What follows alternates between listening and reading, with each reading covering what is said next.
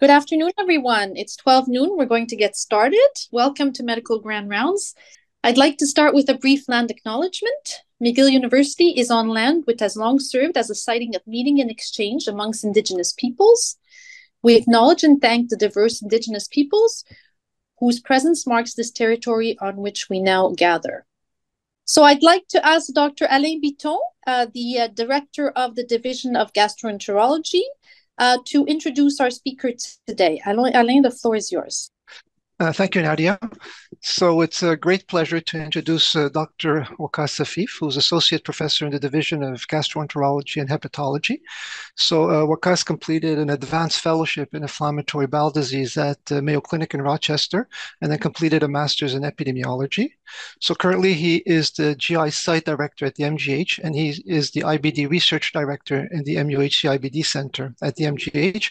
And really, uh, Waqqas over the last few uh, years has uh, become you know, recognized as a leader in inflammatory bowel disease with particular expertise in clinical trials and therapeutic uh, drug monitoring. So Waqqas, uh, welcome, and uh, he'll put us up to date in IBD with his talk on new treatment paradigms in inflammatory uh, bowel disease.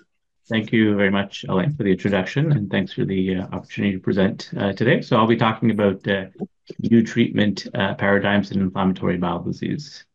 Here are my uh, conflicts of interest, and here are the learning objectives. Um, so we're going to talk a little bit about new treatment paradigms in IBD in 2024 and discuss how these advancements uh, has impacted the care of IBD patients. And also we'll have a brief segue into the utility of fecal calprotectin in clinical practice.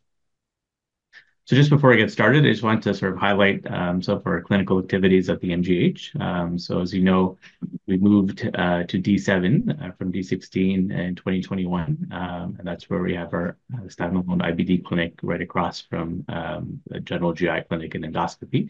We still have a few respiratory patients that still pop by once in a while, but after four years, I think we've sort of secured our, our place um, on D7.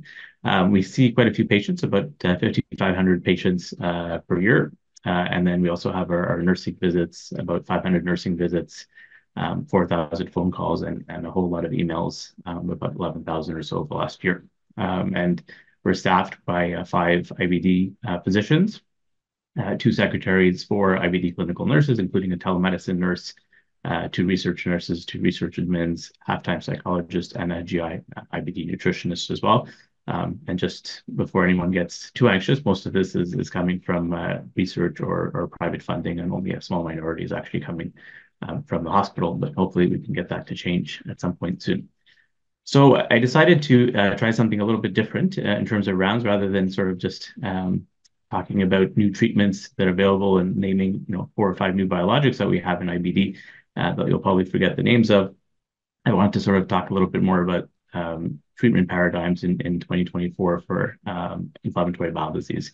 Um, and we'll, we'll do that using three recently published articles in 2023 and 2024. Um, so we'll talk about pre-biologic therapy, um, early biologic therapy, and dual biologic therapy. So the first uh, paper was published in Gastroenterology uh, last year, um, and this paper looks at early ileocecal resection for Crohn's disease comparing anti-TNF uh, medication versus surgery in a population-based cohort.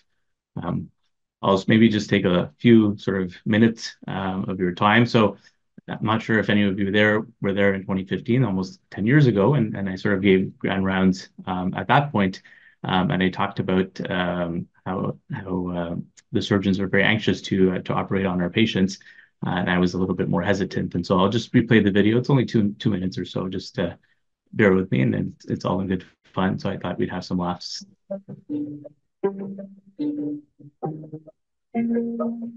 I have a few IBD patients that general surgery is also following. I will page the general surgery service to discuss these patients. General surgery is coming. I am looking forward to talking to them about my patients. Thanks you for coming to speak to me about my IBD patients. They are quite complex and I thought it would be better to speak in person. No problem. Always happy to hear about patients that need surgery. Okay, so I have one patient with a SBO. He has an ileal stricture and he is not opening up. I agree. I will take him to surgery now. I will take all of your patients to surgery now. Okay, thanks.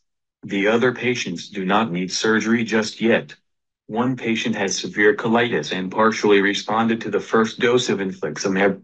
I will give a second dose now. I will take him to surgery now. It will be faster than waiting and then you can discharge him sooner. It is a simple surgery. He will need to have his colon removed eventually. No, I think we should wait. The third patient has an abscess. I will start antibiotics, but if he doesn't respond, he may need surgery. I will take him to surgery right away. I have free time now. I will take out his colon now. It is very straightforward. Thank you for referring him. No, we will wait to see if the antibiotics work. His abscess is near the small bowel. Please do not take out his colon. Why are you telling me these details? I have free OR time for these three patients. I will take them to the OR for surgery. They will be discharged post-surgery. Okay, so I have decided that you only need to keep following the SBO patient. I will take care of the rest. Thank you for your help. Okay, surgery will sign off. We do have free OR time, so let us know if anyone needs their colon removed. It is a simple surgery and the patient could be discharged after. Okay, so I have to go now. This was quite enlightening. Please do not follow me. We have moved the patients and we are not telling you where they are.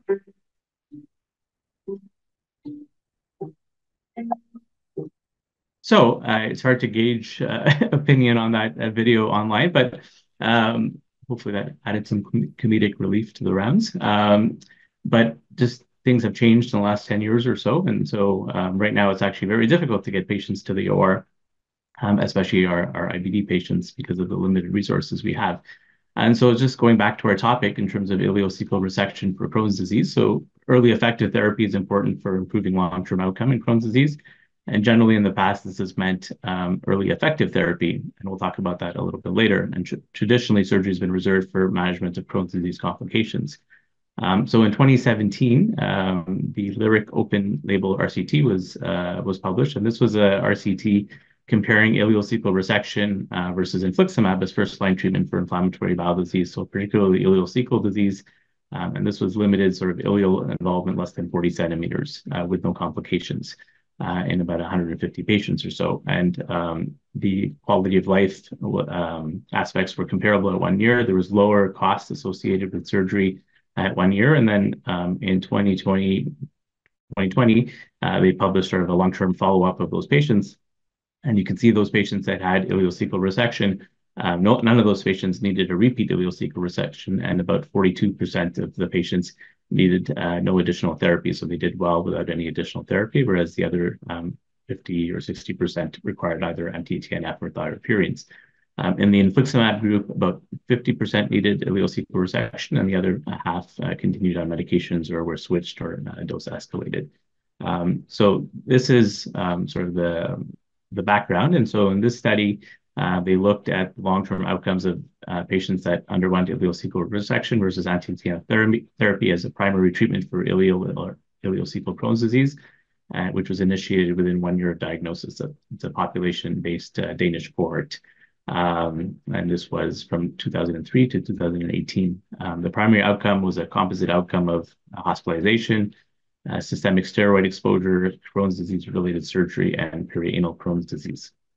And you can see here, uh, they had about 1,300 patients uh, that were relatively equally divided between anti-TNF and ileocecal resection. Um, and those patients that had an ileocecal resection actually had a, about 33% lower risk of long-term adverse outcomes. Um, and those outcomes or adverse outcomes were Crohn's disease-related hospitalization, use of systemic steroids, uh, surgery or perianal Crohn's disease. Um, so there was a benefit um, in terms of avoiding these outcomes uh, with ileocecal surgery. And so if you look a little bit more in detail, those patients that had ileocecal resection, um, about um, 20, 20% of those actually ended up needing an anti-TNF, uh, and about 30% uh, needed immunomodulators. Uh, but about half the patients actually did not end up needing any treatment, and that extended to at least 10 years or so. Um, so still a fairly good outcome for about half the patients or so. Uh, in the anti-TNF arm, you can see about 50% of the patients um, ended, up needing, um, uh, sorry, about 30% of the patients or 20% of the patients needed an ileocecal resection, and about 25% of the patients ended up continuing on their infliximab, but most patients had to switch to another biologic. So just sort of kind of taking a glance at all of these studies. So early ileocecal resection patients um, with Crohn's disease or select patients with Crohn's disease appear safe and associated with long-term improved long-term outcomes. And again, this is sort of limited ileal disease. Um, the study supports previous data um, and suggests that uh, those patients that have an early ileocecal resection uh, may actually have a durable remission uh, lasting more than five to 10 years.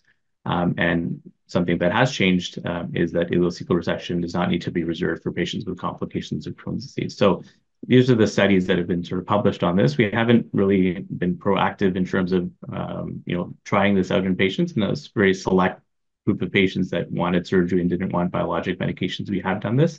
Uh, but right now, uh, our first sort of go-to is still a biologic, but I think that paradigm uh, may switch in the coming years or so. Um, in the second study uh, that we'll discuss, um, this was actually a biomarker um, study uh, looking at two treatment ways, two treatment strategies for patients with newly diagnosed Crohn's disease.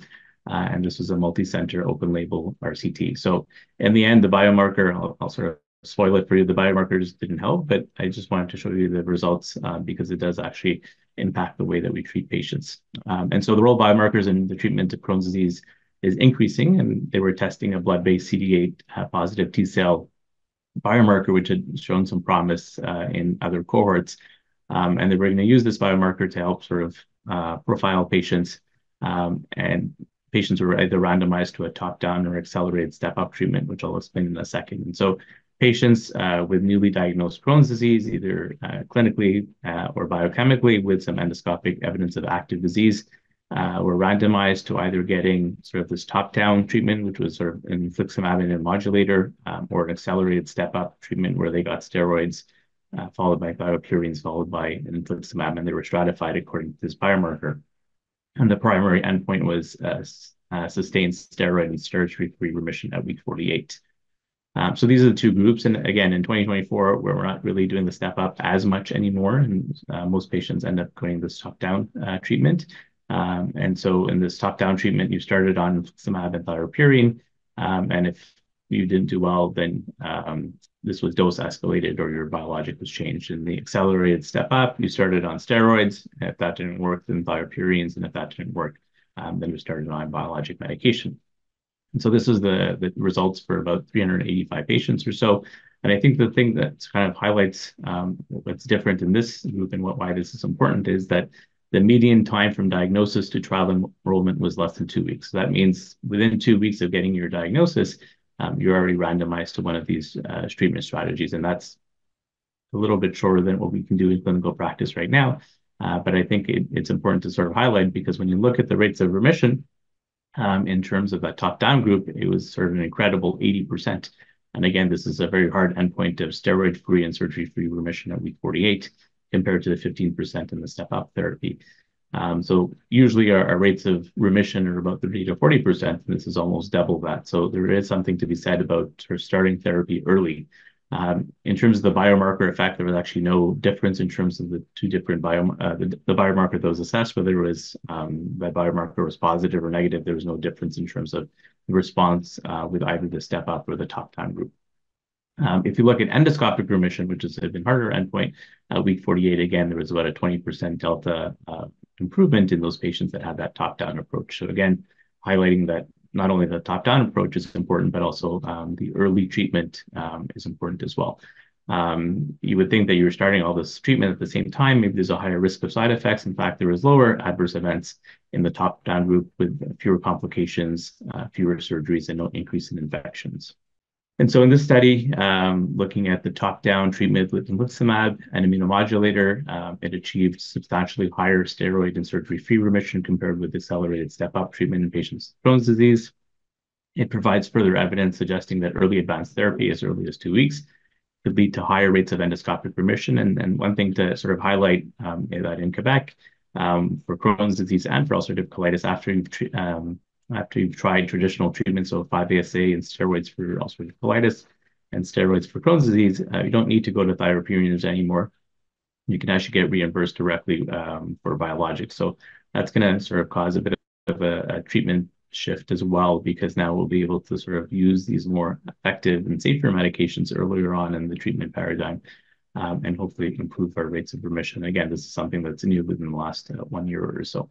Um, so you'll probably be seeing a little bit less of thiopurine and methotrexate monotherapy. Um, you might see it in sort of combo therapy uh, with a biologic, but monotherapy on its own, you'll probably see a lot less of it uh, with new patients diagnosed with Crohn's disease. And unfortunately, uh, we still need some predictors to stratify um, which patients would sort of benefit most by this top-down approach. But I think in the meantime, it's probably better to treat, overtreat sort of a group of patients Uh, rather than undertreat because there's a higher risk of complications um, and poor efficacy with our biologic medications in those patients that we wait a little bit longer to treat. So I'll take a little interlude to talk about biomarkers uh, and specifically fecal calprotectin in clinical practice. Um, and so we've always sort of kind of searched for a non-invasive biomarker to assess intestinal inflammation and guide our treatment decisions. And um, in the past, we used a lot of CRP.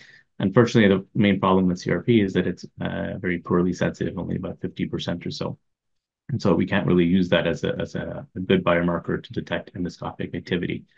So fecal calprotectin has been around for a while, um, and we use it as a screen for IBD. It's a protein released by neutrophils Uh, and indicates inflammation within the bowel and can certainly help distinguish IBD from IBS. Um, and um, in studies, primary care fecal calprotectin testing can avoid unnecessary unnecessary invasive investigations and reduce the time uh, from diagnosis to treatment, which I just highlighted is very important.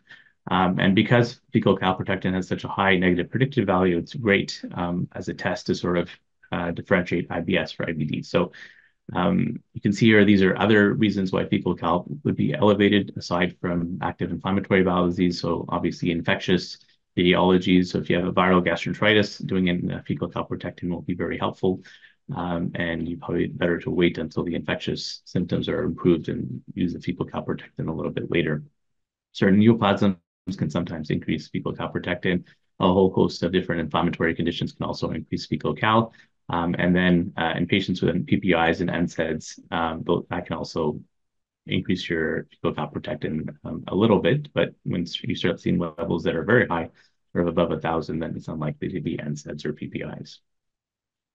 And so just sort of highlighting why it's uh, so useful in uh, differentiation between IBD and IBS. This is a meta-analysis that was published a while ago by one of our residents. Um, and so if you have that pretest probability, so you see a patient in clinic and they're having some GI symptoms and you're not really sure, you maybe have a 30% probability that there might be some inflammation in the bowel, and you do the test and it's less than 50%, uh, then the post-test probability is about 2 or 3%. So you can be fairly confident that um, someone that comes into your you know, uh, internal medicine clinic um, and has GI symptoms, and again, Uh, IBS is much more common than IBD, and we see IBS in about 30 to 40% of the population, and symptoms sometimes mimic inflammatory bowel disease. And so in that patient that has those GI symptoms and they have a low uh, fecal calprotectin less than 50%, uh, you can be pretty sure that um, there's not going to be any active inflammation. And so that patient probably doesn't need to be need to have a colonoscopy, and you can kind of forego that and follow the patient clinically. Whereas if the patient does have a high fecal calprotectin above 200, Um, then there probably is some active inflammation that's going on, and that patient um, you know, needs to have a colonoscopy. And so um, filling out the you know that AH702 form or the direct colonoscopy form, you indicate you know possible IBD, and that'll be triaged a lot faster uh, and will be done a lot quicker than in patients that don't have a fecal calprotectin. So uh, sort of my my sort of word of wisdom would be here that in patients that you want to have their colonoscopy done quicker because you're worried about active inflammation or inflammatory bowel disease, then doing a fecal calprotectin will be very helpful in triaging those patients and having those patients seen uh, a lot quicker. Um, so what about using fecal calprotectin in patients with IBD? And so if you look here, uh, fecal calprotectin has a very good sensitivity, about 90% or so for detecting active inflammation in the bowel. This is using our gold standard, which is colonoscopy, and a sensitivity of about 70% or so. And so in clinical practice, we use this quite frequently. Um, you know, we don't have a lot of um, you know, endless sort of endoscopy or colonoscopy resources, and we sort of want to reserve colonoscopy as much as we can for the, those patients that really need it. And so using a fecal calprotectin um, cut off of about 250 or so, where we know that there's active inflammation, those are the patients that we'll sort of treat a little bit differently or try to optimize their treatment, change their treatment, or uh, end up doing a colonoscopy for those patients. Whereas if their fecal cal is less than 250, we're a little bit more reassured um, with the current treatment and that there um, there won't be that much inflammation in the bowel. And so, what do the results of close monitoring look like? So, this was a randomized uh, control study that was published a few years ago called the CALM study using adalimumab.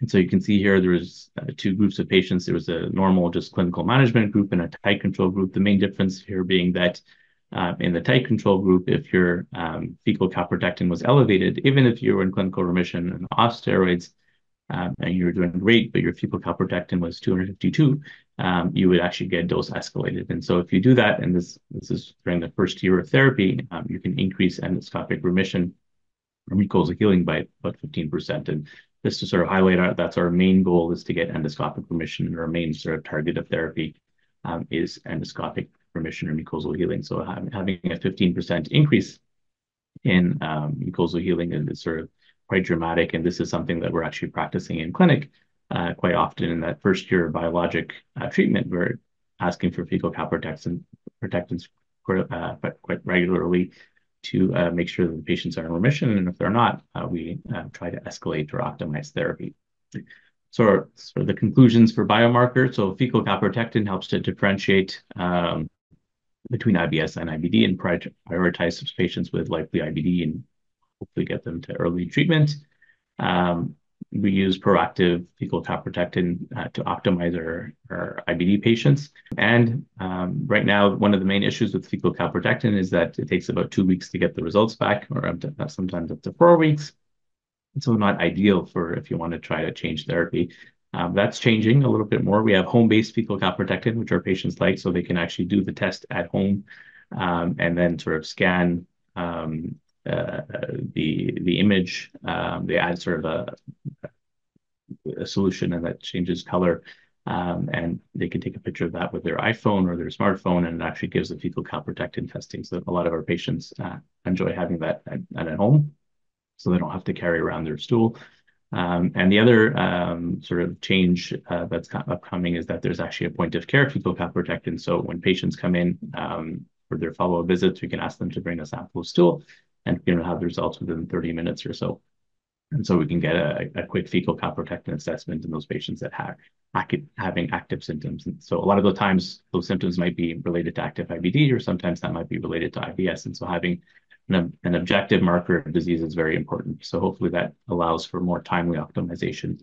Um, what, what's new that's coming up? There's some wearable devices, so sort of smart wearable watches that actually can detect CRP or TNF concentrations um, from sweat-based um, from sweat-based solutions, and that's probably something up and coming, and will give us even a more uh, tight control of what's going on um, in terms of active inflammation.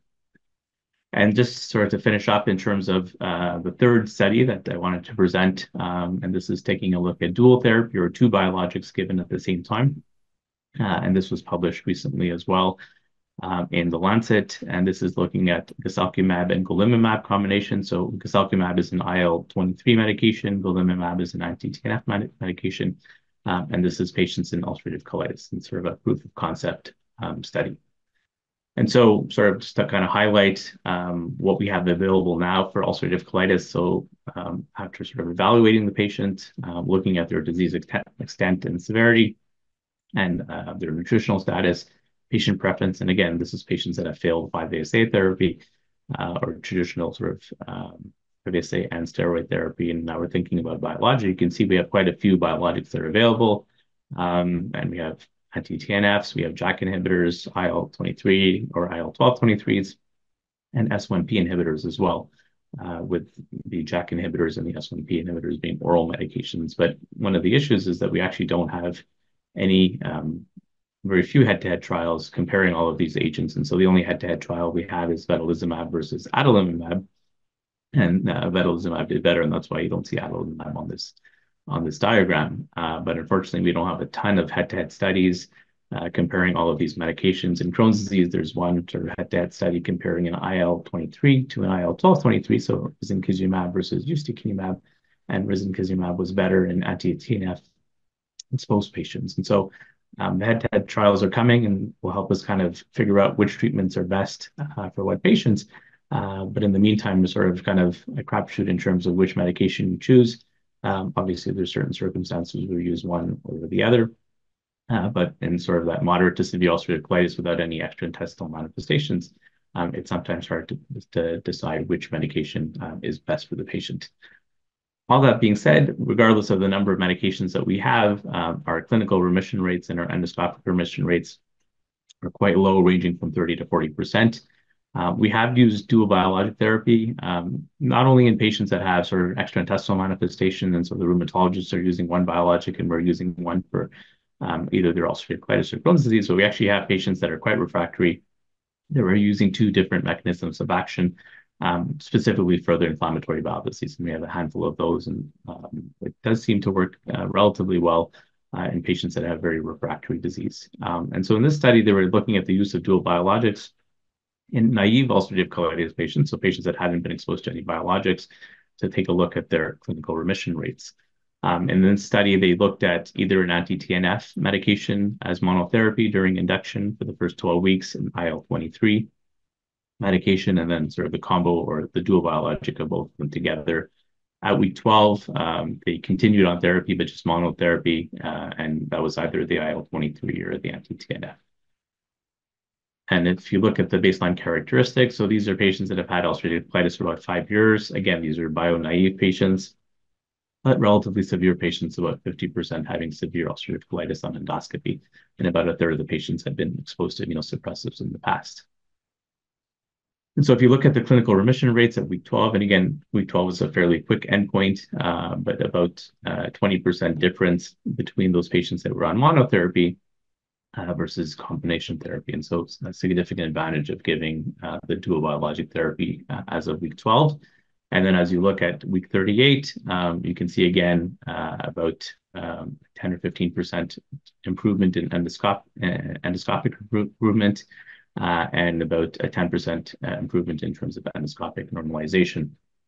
And then if you take a look at histology and um, Uh, endoscopic improvement, you can see it again about a 20% uh, delta with the patients that had combination therapy at the outset and then continued on uh, monotherapy IL-23, compared to just getting IL-23 all the way through or anti-TNF all the way through. So again, something that kind of shows that maybe um, giving dual biologics might actually increase our rate of clinical and endoscopic remission. This was shown in Crohn's disease as well. This was the EXPLORER study that would combine vedolizumab, Um, which is an alpha-4 beta-7 molecule, adalimumab, and anti-TNF and methotrexate. And sort of just taking a look at the uh, slides, um, the two graphs on the right, uh, looking at endoscopic outcomes uh, in the EXPLORER study. Um, so the endoscopic remission rate in observed cases was about 42%. If you sort of compare that to patients that only had gotten vedolizumab, this was another study, it was about 20%, so almost twice the number of patients were in endoscopic remission Uh, at the end of week 26. Um, so again, another study that kind of highlights uh, the role of dual biologic therapy. And so in this study, uh, the combination of both drugs achieved higher rates of clinical and endoscopic remission. This is a very important landmark RCT that demonstrates that dual biologic therapy during induction in bio-naive patients may help to break the current therapeutic ceiling. In fact, we have two ongoing studies that we're participating here at the MUHC, combining uh, an anti-TNF and IL-23 in a single injection. Um, and this is uh, being done in Crohn's disease and ulcerative colitis. So hopefully in the next one to two years, we'll have a little bit more data in terms of trying this in clinical practice, or sort of combining two different biologics. Um, this has been done, uh, you know, in other sort of disease processes. I think, rheumatology has a couple of studies which showed increased morbidity or mortality when you're combining two different agents together. I think what's different a little bit in in IBD is that we're using medications that have a very sort of low risk of complications. So particularly the IL-23s and vedolizumab have very low risk of complications. Their infectious complication risk is lower than placebo, and so these are very, very safe medications. And so combining these two medications uh, certainly could be uh, done without an increased risk of complications. Um, the ideal combination therapy, it's not clear. You know, do you sort of combine, um, you know, biologic with an oral small molecule or just two biologics? Um, there's ongoing studies, and hopefully we'll have the answer to that uh, relatively soon. Um, so just sort of overall conclusions from the talk. Um, so consider surgery in patients with isolated ileal disease. So contrary to my, my video, um, you know, there is a subset of patients that have sort of ileal disease less than 40 centimeters um, that you could consider, certainly consider biologic therapy. Um, for sure, after your primary biologic failure, I should have a discussion with the patient in terms of whether you want to, um, you know, continue biologics or switch to a, a surgical option. Uh, and for sure, in patients that already have ileal stenosis or ileal, uh, you know, fibrosis, where it's mainly scar tissue, then none of the biologics that we have is really going to work, and surgery is probably um, the optimal treatment for those patients. Otherwise, um, early treatment biologics is important, um, as we saw in the profile study. So we need to get these patients diagnosed quickly, started biologics quickly. And so one of those hurdles has been sort of solved in terms of getting access to biologic therapy, at least here in Quebec, where you can go directly to biologics after steroids. Um, and that early sort of um, diagnosis is something that we need to work on. And what we talked about, fecal calprotectin, that's a great way to sort of um, identify those patients that probably have inflammatory bowel disease that need early biologic therapy. Um, and just uh, again, to sort of stress the importance of fecal calprotectin. I know the rheumatologists um, use fecal calprotectin quite often and help us uh, kind of figure out which patients we need to see a little bit earlier, but uh, certainly using fecal calprotectin can help um, drive early diagnosis, but also help us to optimize our treatment and improve outcomes. So I talked a lot about uh, biologic therapy and, medical therapy and surgical therapy. So what can we do to prevent IBD? Um, and this was a really interesting study that was published in Gut about two years ago. And, all of you listening on, you can kind of take a look at this, calculate your own HLI or healthy living index. Um, and so this was actually uh, initially done on a prospective uh, uh, sort of cohort and then validated in another cohort in, Europe. And you can see here the healthy living index, i.e. just eating and, uh, exercising uh, puts you at a much lower risk of developing uh, IBD. And so not drinking alcohol, having a normal BMI, um, being physically active, not smoking, having more fruits and vegetables and fibers and nuts, um, less red meat, more fish. And again, you can sort of calculate this on your own. And uh, if you have that HLI of seven to nine, um, then the chances you developing IBD are, are about 50% less. So something to strive to to avoid all of those surgical and medical treatments that we have to offer in inflammatory bowel disease. Uh, I'll stop here and uh, I'll ask if anyone has any questions or, or comments. Fantastic. Thank you very much, uh, Waqqas, uh, Dr. Afif. A very comprehensive presentation. Uh, we have a few questions. I'm going to just uh, ask, uh, just, just you, people can unmute, but I'm just going to ask a first question. Um, you know, coming from the cardiology world, it's a little bit surprising to see some of those results, quite low remission rate uh, you know, 36% is, is sort of the number that I remember now offhand. And um, as well, like these measures at 26 and 38 weeks, what's that about? Like, why not long? What happens to these people long term? These are very short remission rates, uh, you know, remission rates at a short duration uh, and, and, and very low. Can you just comment on that? Sure. I mean, um, these are all sort of randomized studies, uh, so their follow-up is usually a year. There are long-term extension studies that extend, you know, four or five, 10 years or so. Uh, depending on the medication, um, we sort of tend to lose response with certain medications. So certainly anti-TNF medications, the loss of response is about, about 10 to 15% per year. Uh, with newer medications like the IL-23s or the IL-12-23s, the loss of response is a little bit less um, over time. So I think you're you're absolutely right. Our, our remission rates are, are terribly low. Uh, so sort of in that 30 to 40% range uh, for most patients. And so that's why um, there's this sort of um, strive to either try something different. So early therapy, which could increase our rates, you know, up to 60 or 70%, or uh, using dual biologics to actually increase our rates um, above um, that low threshold of 30% that you mentioned. And just uh, just uh, in terms of cost of these biologics? Yeah, so the, the biologics are, are quite expensive. So um, usually for urotherapy, they can range anywhere between forty and sixty thousand dollars per year. There's biosimilars that are available for anti-TNFs and for ustekinumab that have decreased the prices by about 30 or 40%, and that's probably gonna Uh, decrease over time. Um, and so newer biologics that are coming in have to put in a price point that's in that same region as well. So they're gonna be decreasing over time, but still very, very expensive compared to, um, for example, a thiopurine or a 5-ASA medication.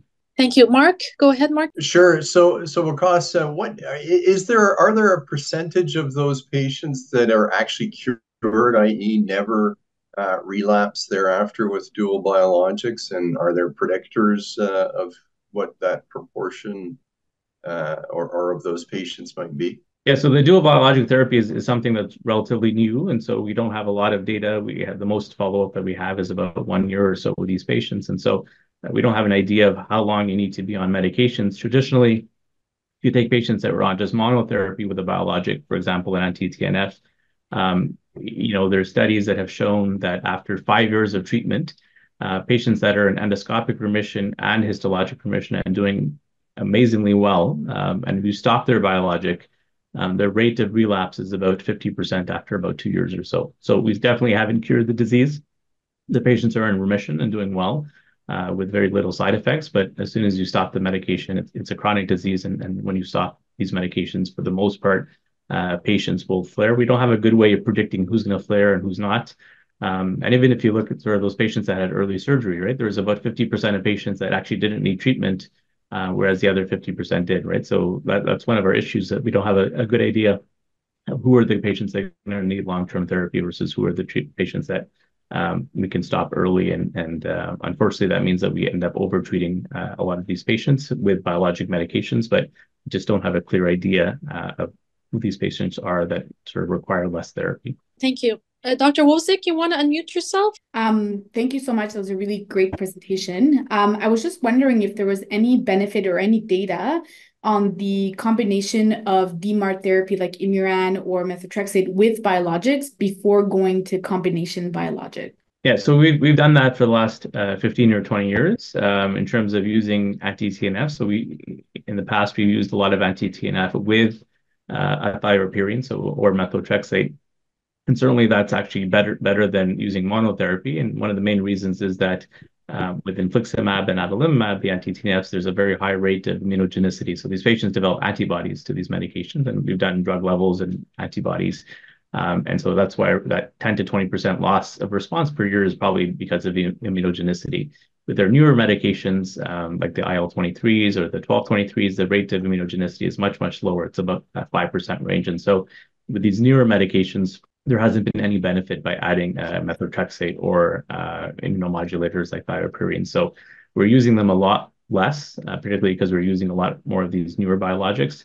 Um, and so um, and that's why we sort of kind of pivoted a little bit to think about using dual biologics, because just using the thiopurine uh, along with the biologic doesn't seem to be enough to break that threshold of 30 to 40%. Thank you. Thank you. Sasha, do you want to go ahead? Sure. So that was awesome. That was such a clear and good presentation, very relevant. And so what uh, what Sophie just said is also true, that that those drugs are not used, except for maybe in cases on their own. Like, maybe you'd use azathioprine in pregnant patients if they're mono, or you just don't use azathioprine anymore? I mean, we still use a little bit of azathioprine. I think if you're gonna go on infliximab, um, for whatever reason, because you had acute severe UC and you needed infliximab in hospital, um, or you have an extraintestinal manifestation, you have, you know, axSpA, uh, and you need to go on infliximab, then those patients would get infliximab. We've been doing a little bit of proactive monitoring uh, of the drug levels with these patients to sort of avoid the antibody issue, but a lot of these patients end up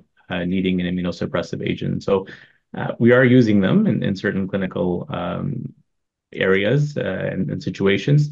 I think more and more, um, we're sort of kind of avoiding the anti-TNFs a little bit more just because um, the efficacy seems to be about equal. You know, in the absence of an extraintestinal manifestation, the efficacy seems to be about equal between an anti-TNF and one of the newer biologics or the JAK inhibitors, but the safety profile is is a lot safer with the IL-23s, the IL-12/23s, and alpha-4 beta-7. So less risks of infectious complications, mainly. And so this is why we're using a lot more of the newer biologics compared to medications like infliximab.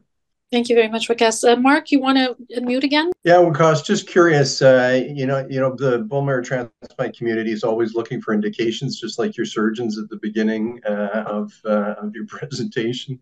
And uh, you know, I've shown really promising stuff in relapsing remitting uh, MS and other rheumatologic conditions. Is anybody doing any work in IBD with auto transplants, or is Sasha uh, also suggested CAR T cells? So the uh, they have done studies with BMT, so mainly in very very refractory patients, so the patients that haven't responded to therapy or had multiple surgeries. There has been a couple of studies using uh, bone bone marrow transplant.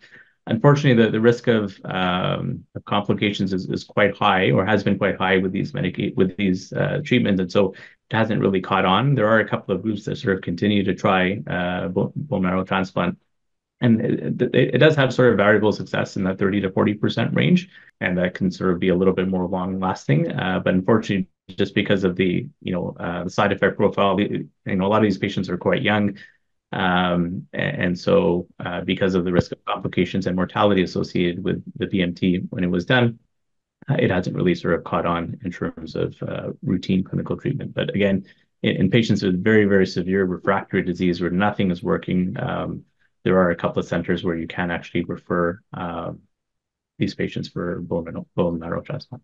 Thank you. Go ahead, yeah. Waqqas, uh, a couple of comments. So first, uh, it seems to me like uh, the Mediterranean diet is the way to go with your HLI that you presented, right? So uh, I think that's good. One question about dual therapy. Uh, do you, th- you know, from that study you showed us, uh, golimumab, guselkumab, do you think uh, that a delta of you know 15% for remission is going to be enough to convince payers you know to pay for two two biologic therapies you know especially when you don't have long long term data and so that's only i mean how, how do you how do you see that? Like what will it take do you think to have payers actually pay for dual biologic therapy? Because it, it will end up being you know quite costly especially if you have these patients long term. Yeah for sure. I mean it, it was a proof of concept study. Um, there are more recent studies that we're participating in now that um, are combining those two agents, and instead of just using it during induction, you use it throughout the whole year, which I think will probably also increase uh, the rate of uh, endoscopic remission for these patients. And the newer sort of agents, it's actually not two different injections. It's actually they're combining them into one medication, right? So it'll be just one medication with two different biologics. So um, you know, what's going to be the cost of that? I, I don't know. Uh, hopefully, it'll be sort of priced around the same range as what we're using right now, especially in the area of, of biosimilars. Um, and so there's been sort of significant um, requests from the government to sort of decrease the cost of these medications, especially if we're using them long term. And so uh-huh. I think time will tell, but I, I, think going sort of that route of dual biologics is probably the only, one of the only things that we can do for right now because, you know, as you know, all the other biologics and small molecules we've used um, give us around the same sort of rates of endoscopic remission um, and clinical remission. So we have to try something different. And so using two biologics at the same time um, seems to be a possible way of increasing the risk, the rate of endoscopic remission. And you would use that in, in selected patients who are medically refractory. Is that is that or so? This is actually in bio-naive patients, right? So, um, so just yeah, because I'm thinking bio-naive. How, how would that differ if you use you know the good old traditional combo therapy and infliximab plus uh, you know thiopurine, you know, which is also quite effective. Like it'd be interesting to see if in bio-naive patients there's actually a difference between dual biologic therapy and, and combination thiopurines and uh, biologics. Yeah, I mean, I think uh, we haven't been able to sort of identify which patients are the ones that are going to require sort of more therapy. I know we all have a clinical sense when you scope someone and they have big, deep ulcerations um, that you know these are the ones that you worry about a little bit more, um, or that are already sort of beginning to have stenosis that you worry about about more. And those are the probably the patients that are probably going to be most the, the patients that will probably both, most benefit from using dual biologic therapy. But again, it's it's something in progress. I, I think when it comes out, we're probably going to use it in more refractory patients. But in the end, I think in order to improve our sort of rates of remission, uh, we might need to be a bit more aggressive um, in terms of um, using the dual biologics, you know, if they're not cost prohibitive. Thanks. And just one last comment, Waqqas, could you refer us to that surgeon who has all that OR time? this was 10 years ago, so that surgeon no longer exists because they don't have enough OR time because it's very, very difficult uh, to, to get patients operated. Maybe you can send them to the same areas where they have two colorectal surgeons, and, and thankfully they've been able to, to see our patients a little bit quicker as well.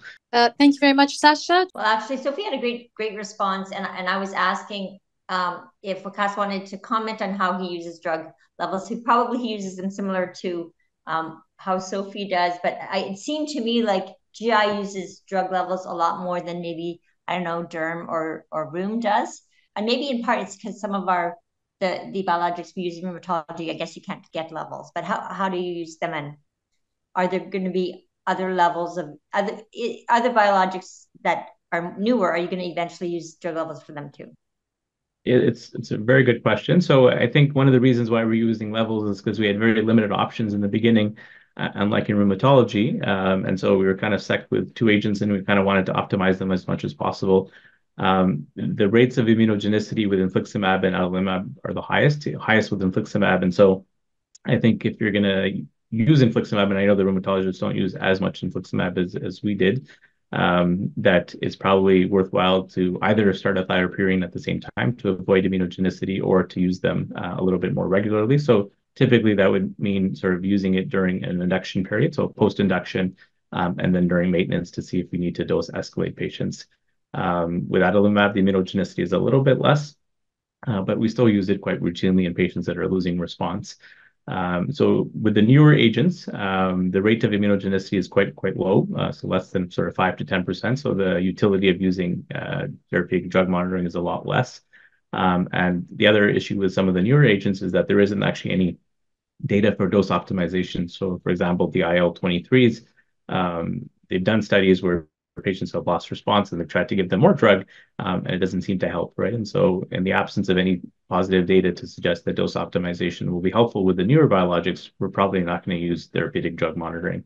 Uh, but where, when we're using adalimumab and infliximab, where there is benefit from dose optimization and higher immunogenicity rates, then I think it, it's important to sort of consider using um, drug levels in those patients.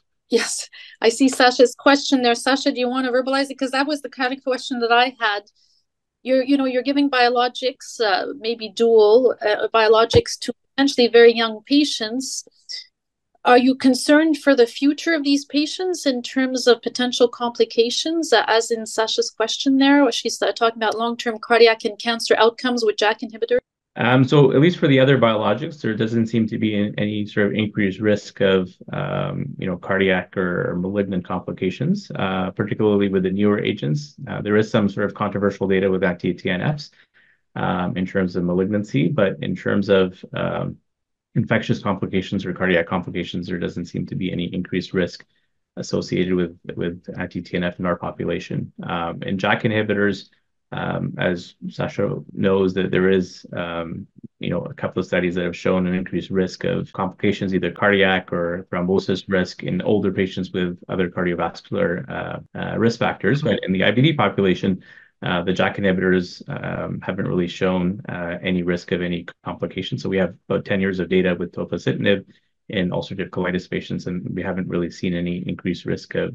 malignancy um, or any cardiac or thrombosis risk associated with it. So it's sort of a little bit of a different population.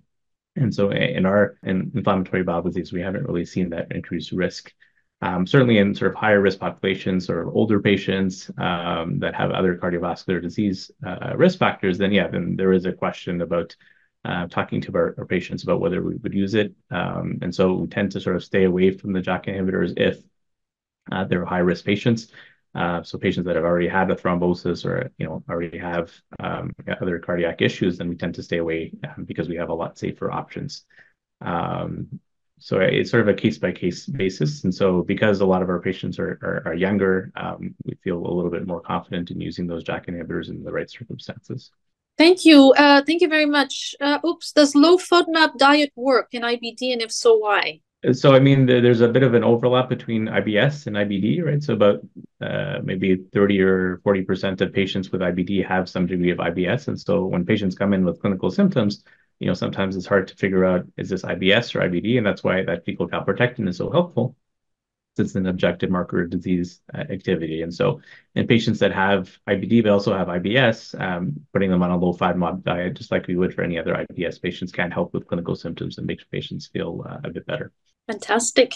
Thank you so much. You had lots of questions there.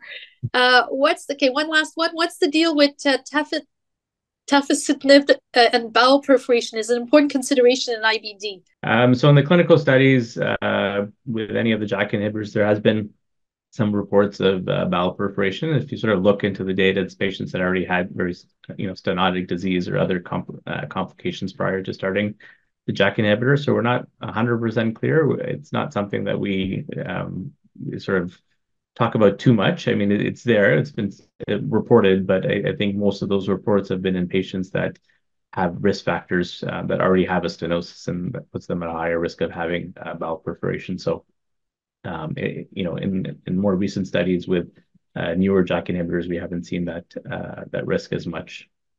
Thank you so much. Any uh, Alain, any final words? Uh, you guys have a you know very well reputed uh, IBD program. You follow a lot of patients. Uh, any any final words, Alain, uh, from no, your team? I, no, I think I want to thank uh, you know Waqqas for for a great talk and really looking at spec- you know important pertinent questions in the clinical arena.